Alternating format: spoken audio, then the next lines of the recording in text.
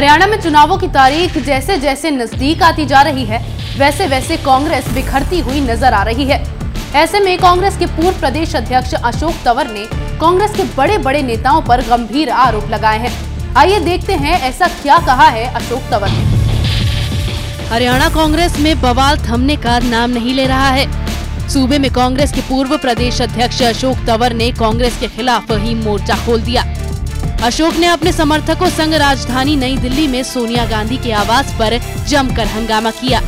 अशोक ने कहा कि आज राजनीति हत्या करने का प्रयास है। उन्होंने पार्टी नेतृत्व पर हमला बोलते हुए कहा कि जब भाजपा में विधायकों की टिकट कट सकती है तो इन निकम्मे विधायकों की क्यों नहीं कट सकती? अशोक का गुस्सा यही नहीं थमा और राहुल गांधी को भी आड़े हाथ ले लिया। उन्होंने कहा कि राहुल गांधी ने कहा कि निगम के चुनाव पार्टी के चिन्ह पर लड़ना चाहिए, लेकिन किसी ने नहीं सुनी।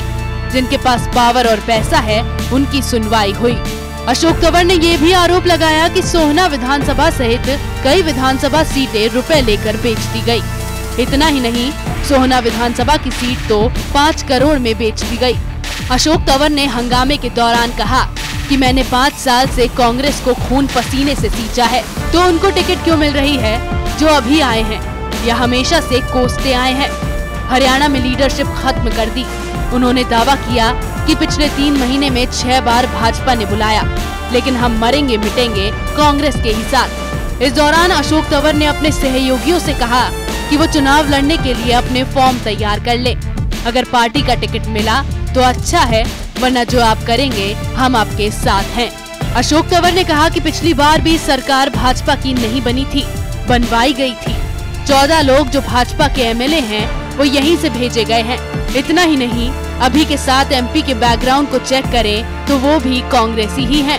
हरियाणा में चुनावों से पहले जिस तरह की आंधी उठ रही है, उसमें कांग्रेस के आला नेतृत्व ने जैसे तैसे पूर्व सीएम भूपेंद्र सिंह हुड्डा को चुनावों में कांग्रेस के साथ रहने के लिए तो मना लिया, लेकिन अब सूबे में कांग्रेस कार्यकर्ताओं को एक साथ रखने में असमर्थ हो रही है, जिसका खामियाजा उनको आने वाले चुनावों के परिणामों में भुगतना पड़ सकता है जो कि कांग्रेस के लिए सही नहीं है, क्योंकि वो पहले ही लोकसभा चुनावों में बहुत बुरी तरह से हार देख चुकी है। अब इस समय में कांग्रेस और राहुल गांधी पर इस तरह के आरोप महाराष्ट्र और हरियाणा चुनाव के लिए घाटे का सौदा साबित हो सकता है। जिस तरह के हालात हैं, उससे तो कांग्रेस का चुनावों में जीत पाना मुश्किल नज़र आता है। लेकिन अगर इसी तरह चलता रहा तो कांग्रेस के कार्यकर्ताओं को भी एकजुट रखना मुश्किल हो जाएगा। इसी तरह की खबरें मैं आपके लिए लाती रहूँगी। तब तक के लिए बने रहिए हमारे साथ, देखते रहिए ओपिनियन पोस्ट इंटरनेट टीवी साथ ही हमारे चैनल को सब्सक्राइब करना ना भूलें और बेल आइकन दबाएँ।